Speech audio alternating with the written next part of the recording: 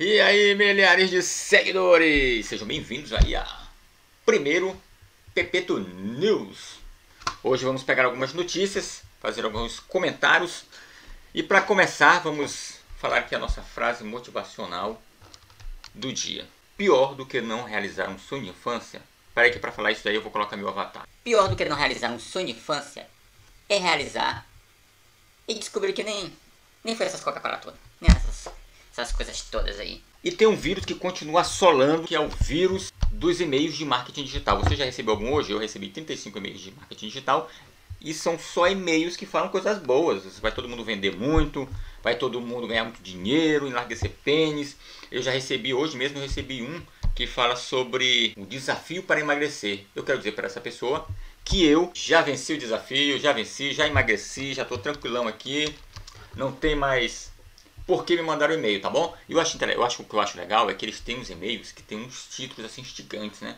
Os títulos são legais aqui, ó. Quer ver, ó? Estamos te esperando.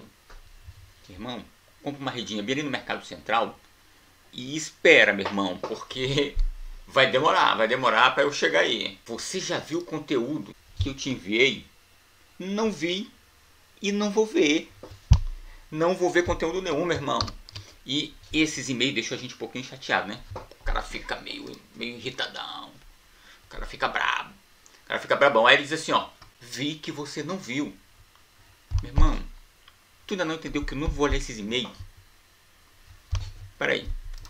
Eu não vou olhar o e-mail. Eu não olhei é porque eu não quero mesmo olhar. É a sua última chance. Tomara que seja mesmo. Tomara que seja a última chance. E, pelo amor de Deus, meu irmão, que seja o último e-mail que você me mande. Quer me deixar rico? Manda um real. Em vez de mandar cada e-mail que eu com tanto de e-mail que eu já recebi teu, se tu me mandasse um real, aí sim, meu irmão, eu já tava. Aí eu já tava rico. Já tava aí esbanjando, já tava charlando aí para todo lado. Normalmente são três vídeos. Os três vídeos que você não precisa pagar porque você só precisa pagar se você quiser acessar algum conteúdo, né? Se você quiser acessar algum conteúdo verdadeiro, aí você tem que pagar. Porque para acessar os três videozinhos, que na verdade é só uma propaganda do curso, não, não, não precisa pagar não. E outra coisa, uma notícia aí é que complicada, que é aquela nuvem, né? Tem uma nuvem que todos os nossos temíveis, ela está todo vapor no Brasil, que é a, a, as, as calls armazenadas na nuvem, aquelas chamadas de hangouts e meet e tudo enquanto, que todo mundo está participando aí eternamente. E as pessoas estão mencionando, estão comentando que estão um pouco cansadas. E para completar, quando chega no final do expediente, vai todo mundo para a rede social, né, para dar aquela extravasada, para relaxar. E aí o que que tem lá na rede social? Um monte de print de call, um monte de print de hangout, de meet, de zoom, que ninguém mais aguenta ver. Aí você passa o dia todo em reunião, assistindo reunião com hangout, com não sei o que e tal. E aí quando chega no final do dia, você vai ver o seu Instagram e tá lá repletinho de foto de hangout. Eu preciso falar uma coisa assim para vocês que eu espero que vocês entendam. É uma revelação. Todo mundo sabe que todo mundo está assistindo reunião via Hangout, via Meet, via Zoom. Ou seja, não é nenhuma novidade você ficar printando e mostrando imagem aí de tela de reunião de Hangout, porque é o que está todo mundo fazendo. Então a galera está passando o dia todo nisso aí, então não adianta você ficar postando porque não vai ser nenhuma novidade não. Quer postar novidade? Faz que nem um pessoal aí de Londres que postou um, uma imagem de um, uma reunião que eles fizeram utilizando o Red Redemption Red Dead Redemption 2. O que, que é o Red Dead Redemption 2? É um jogo de bang bang que eles estão utilizando para fazer as reuniões deles. Aí sim, ele tem um senso de realidade muito, muito grande, ele tem qualidade nos gráficos e tem também a possibilidade de estrangular o companheiro durante a reunião porque dependendo do, da reunião, do teor da reunião, pode ser que as pessoas precisem. Isso foi o caso lá que eles mencionaram. E uma coisa que eles estão gostando é porque dependendo de, de, de quem for eles, sempre que você participar de uma reunião, você sabe quem são os participantes, né?